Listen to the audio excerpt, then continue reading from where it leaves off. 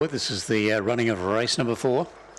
Parnassus Steakhouse, grade five. Theatrics show is the uh, favourite. They're all set. Green light is on. Ready.